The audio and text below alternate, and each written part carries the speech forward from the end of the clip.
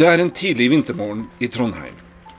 En far skal på jobb, som tusenvis av andre fedre og mødre denne morgenen. Men først skal de to barna hans leveres i barnehagen.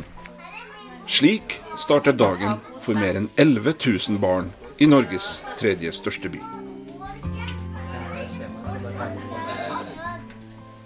Vi er i Voldsminde barnehage. En av nærmere 200 kommunale og private barnehager i Trondheim. Voldsminde barnehage drives av Trondheim kommune. Felles for alle barnehager er at de har kompetente ansatte som liker å jobbe med barn.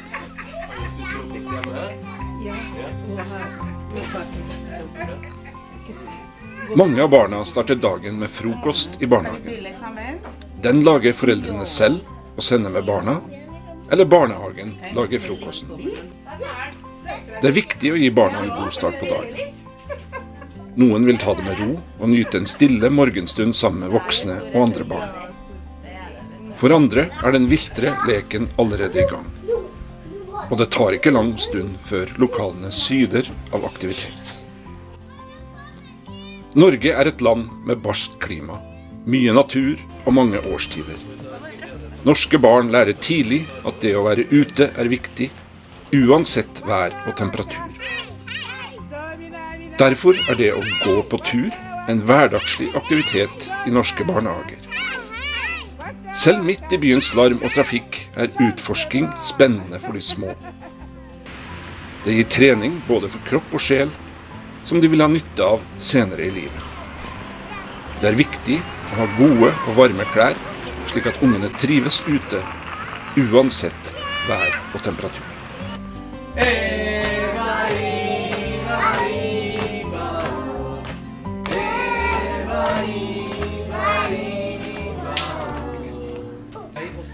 Alle barn har god tilgang til bøker, og lesestunder er det mange.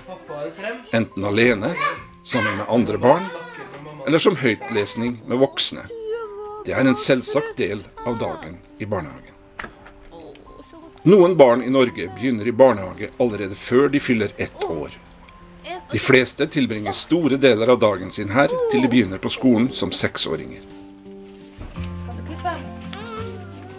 Skaperglede er også noe som oppmuntres i barnehagen. Alle barn liker å lage ting. Noen foretrekker byggeklosser.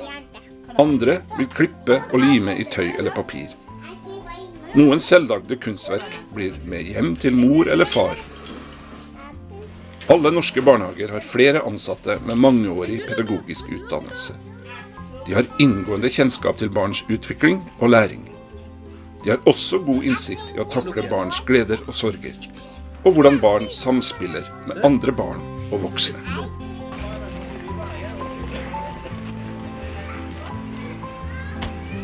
Å klatre i et tau, utforske en søledam eller svinge høyt i en huske oppleves som morsomt og naturlig for de fleste barn.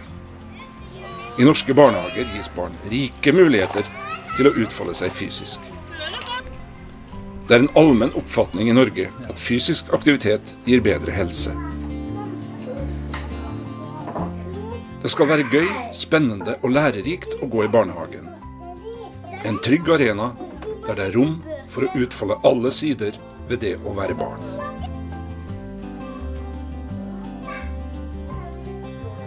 En, to, tre.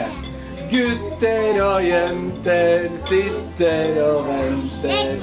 Magen er sulten og halsen Nå skal vi spise, men først må vi vise at vi kan vente på turen. Det var ikke sånn!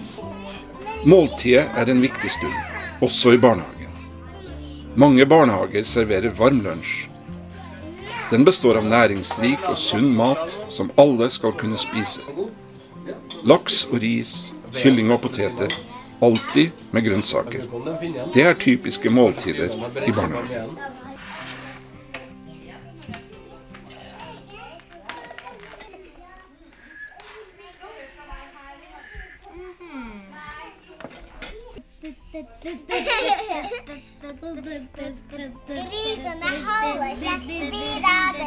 I et flerkulturelt samfunn som det norske har en stadig større del av både barn og ansatte bakgrunn fra andre land.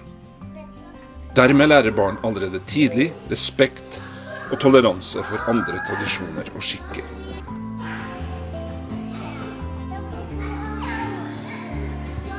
I en moderne norsk barnehage går norske tradisjoner hånd i hånd med interessen for og læren om at alle har lik verdi, uansett etnisitet eller tro.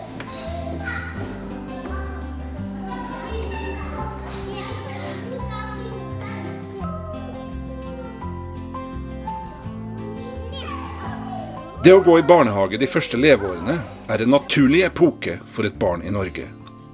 En nødvendighet i et travelt, moderne samfunn der ofte både mor og far er i jobb.